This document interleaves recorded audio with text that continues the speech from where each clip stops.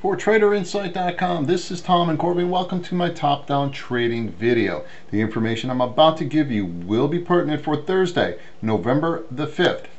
There's a few industry groups, and as of late, everything is on the short side. First one I'd like to talk to you about is money center banks. Strong rally, consolidation period in this area, or a basing period, took off again starting to look tired. I'm looking at one, two, and three times it's bouncing off this support. I believe that if it takes out this area, we will go into this value area down in here.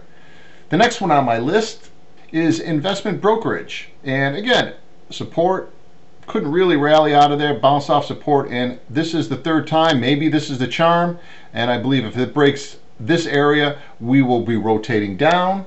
The next one is lumber. Uh, kind of trending down breaks this little swing low. I think this is going to be an easy target for it around the 90 area. And the last one I'd like to talk to you about is insurance brokers.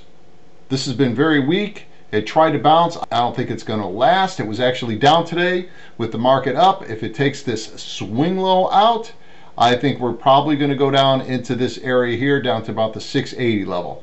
Anybody has any questions please feel free drop me a note at tom at traderinsight.com